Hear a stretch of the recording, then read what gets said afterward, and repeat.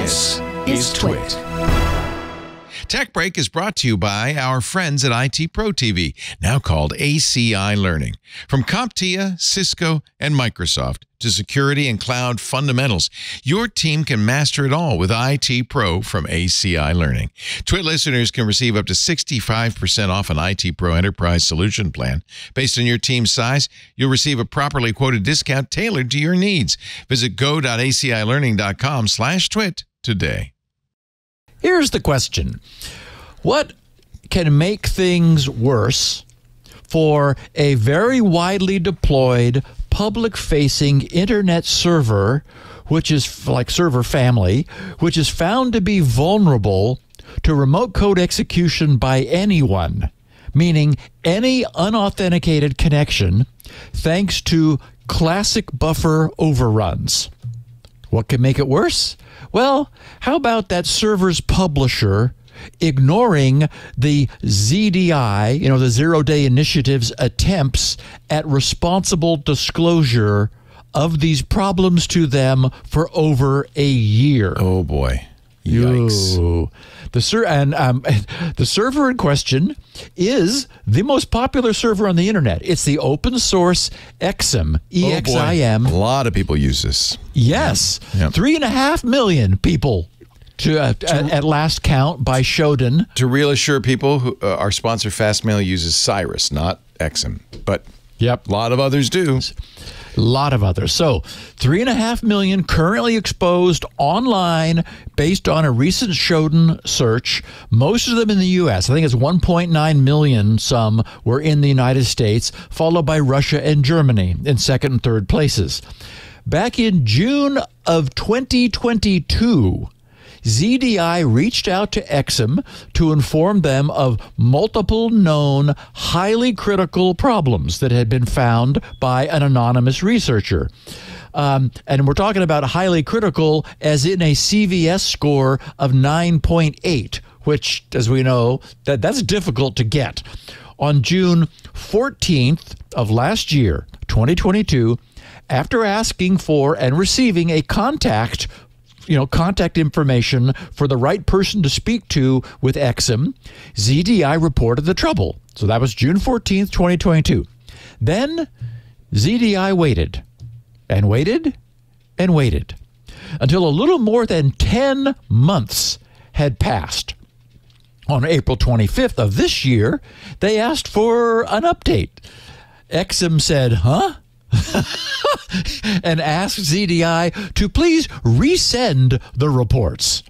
On May 10th, ZDI resent the vulnerability reports. Then another four months went by until finally last Monday, the 25th of what, September, uh, ZDI again asked for an update while also informing Exim that, you know, we've been we've been patient enough. We're going to publish the entire case as a zero day advisory in two days, which was last Wednesday.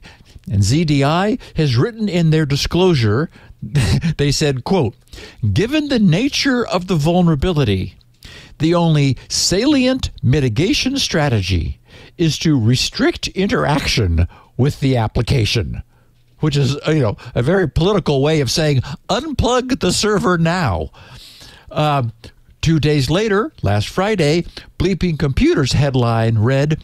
Millions of Exim mail servers exposed to zero day remote code execution attacks.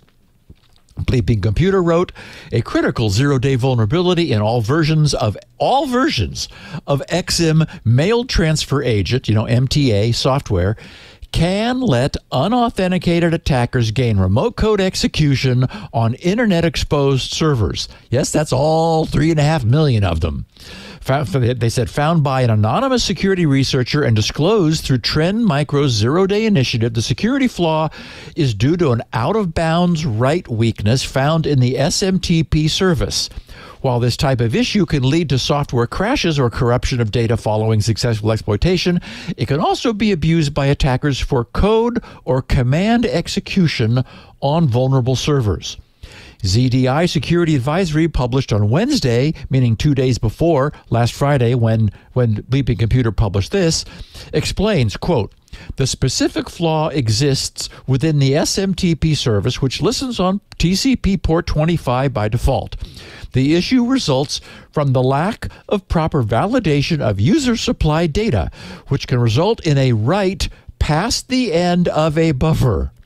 An attacker can leverage this vulnerability to execute code in the context of the service account, unquote.